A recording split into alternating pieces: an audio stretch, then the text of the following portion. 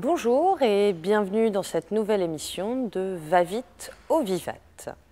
Aujourd'hui, je vais vous présenter le spectacle Tartuffe d'après Tartuffe, d'après Tartuffe, d'après Molière de Guillaume Bayard du groupe Fantomas. Vous allez me poser la question pourquoi ce titre? Voilà pourquoi.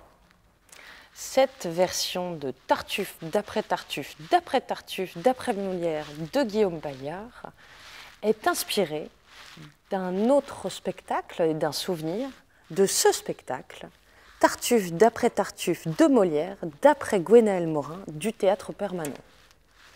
Guillaume Bayard, comédien, metteur en scène qui euh, invente des projets, euh, a travaillé avec Gwenaël Morin et notamment en 2009 sur euh, les répétitions de ce spectacle.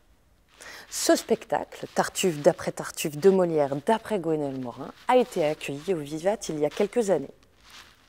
Guillaume Bayard vous propose sa version de Tartuffe de ce grand classique.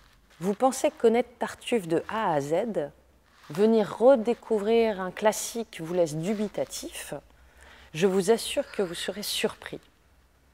Guillaume Bayard a fait le choix de jouer non pas avec 2, 4, 6, 10 comédiens, mais il interprète seul tous ses personnages. Comment, me direz-vous? Euh, Il change de costume, euh, les décors euh, changent constamment, la pièce dure 2h30. Non, pas du tout. La pièce dure une heure, seul en scène. Il interprète et il vit ses personnages avec une scénographie simple. Sur le plateau sont indiqués euh, le nom de chaque personnage. Voilà. Euh, c'est une scéno simple et efficace. Il court, il transpire, il jongle avec les mots durant une heure. Il occupe l'espace, c'est un marathonien du mot et de l'espace. Aussi, je vous invite à venir découvrir cette pièce. Vous ne serez pas déçus. Celle-ci joue le 27 avril à 20h au Vivat.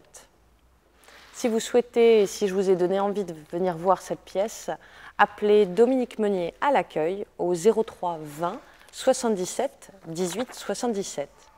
Merci, à bientôt.